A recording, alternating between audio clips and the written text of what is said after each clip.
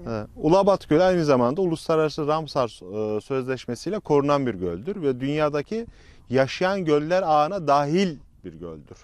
Ve Türkiye'deki bu anlamda tek göldür. Ama maalesef yaşayan göl unvanını her geçen gün yitirmektedir az önce bahsettiğimiz tehlikeler ve risk- riskler yüzünden.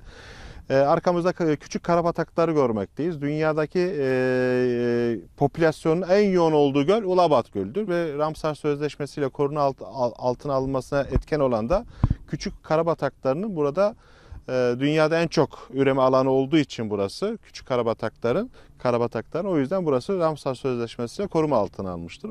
Ulabat Gölü'nde e, Orta Avrupa'dan Afrika'ya, Afrika'dan da hem ülkemize hem de Orta Avrupa'ya giden kuş göç yolu üzerinde olduğu için her yıl burada on binlerce kuş ya konaklamaktadır ya geçici konaklamaktadır.